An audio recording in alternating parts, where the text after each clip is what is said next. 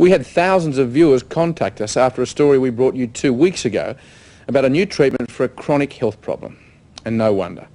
A clinic was claiming a 90% success rate in treating asthma sufferers. Well, we asked the Asthma Foundation and a top specialist to find out if the technique really works. Here's Peter Wilkinson. It takes a long time, but it makes it better, doesn't it? Hey? Come on then, quick. Hmm? Two weeks ago, we told you how five-year-old Leanne Harsent had nearly died of asthma at least four times. We've been told in so many words the steroids and such the high dosage of the drugs and everything else she's on. If it's not the asthma that kills her, it'll most probably be the poisoning from the steroids. It's okay, look. It's okay, just catch your breath. 25. The story we told you two weeks ago was about a new so-called asthma Forty. treatment. It's a Russian breathing technique, the Buteyko method. Yeah, catch your breath. Control your breathing more carefully. The practitioner is a Russian Sasha Stalmatsky. So all you've got to do to cure yourself of the symptoms of asthma is bre- change your breathing technique. Yes.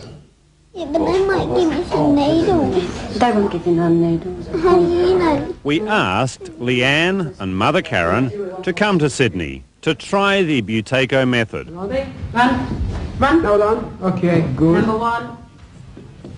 I was just amazed. I, I couldn't believe it. Within two days, she was off everything. I'm, you know, convinced that it has worked for me. Thank you very much for everything. Leanne finished the course and is now back in Melbourne without almost all her drugs.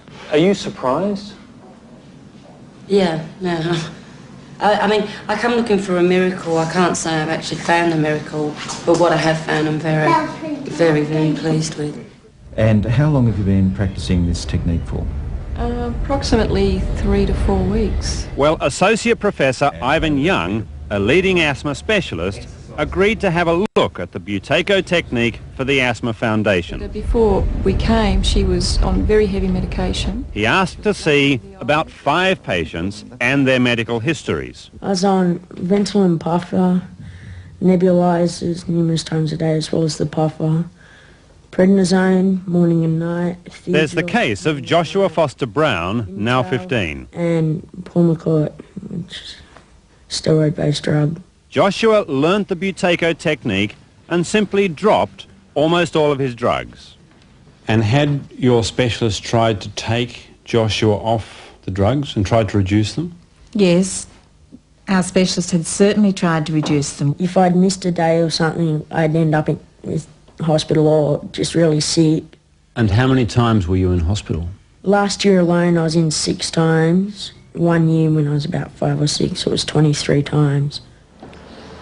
Joshua is now one of the Trojans at McDonald's in the city, doing the kind of work he simply could never have done before. I think it's just wonderful. Our life has just been revolutionised, just turned around. Joshua Foster Brown finished his treatment and went off the huge drug regime six months ago. Were you advised by doctors or anyone else that your asthma was very likely to get better around the start of uh, 15, 16 or about the time that puberty comes on? Not really. So Joshua Foster Brown, Dr. Ivan says, probably simply grew out of asthma, coincidentally at the same time as he did the treatment. Something somehow turned this around within the space of a week or two weeks. Joshua's come off a huge drug regime and he's gone from that to almost nothing. Mm. That's absolutely, oh, there are many, many such cases, many such cases. People's asthma gets better. It's such a variable condition. And again, like- I must, yes, Like that. absolutely. Then there's Dr. Florian Messner, a musicologist. Asthmatic since the age of nine, now 56. He had periods of asthma until he came to Australia when his doctor agrees he became a chronic and continuous sufferer. That all changed 18 months ago with the Buteyko method. But is it possible that this could be one of those periods in your life when you haven't got asthma and that next week it could come back again? No, it, uh, I don't think so because it's still, I still have to work on this problem. So there's no trick with the Buteyko method. You've actually learnt a way to control your asthma without drugs. Yes. But again, Dr. Young is simply not impressed with people like Florian Messner or Giovanna Cancelleri and her daughter Olga. So it's just a coincidence that Mrs. Cancelleri It's got, a got coincidence. at the time she Yes. did this. Uh, well, that plus the placebo effect, which is a terribly, terribly important effect.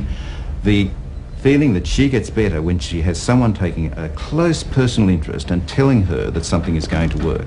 So that means it's happened to all of us. Everyone that's done the technique, including myself, has had this placebo effect Absolutely. to tell us that we're going to get better, so we're better.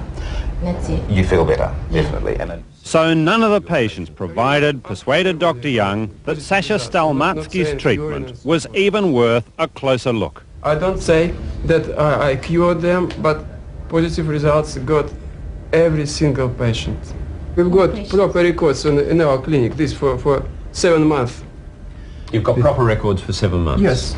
So we telephoned the patients treated over seven months, only 39 people.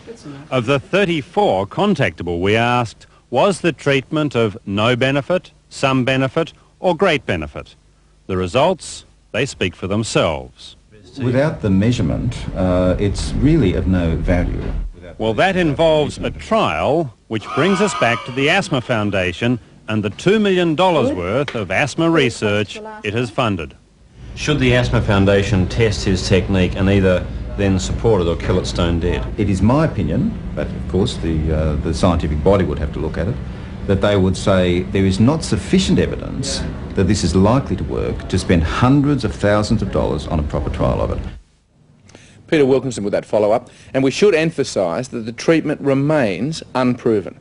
Some doctors say it seems to have benefits, while others maintain it's all in the mind.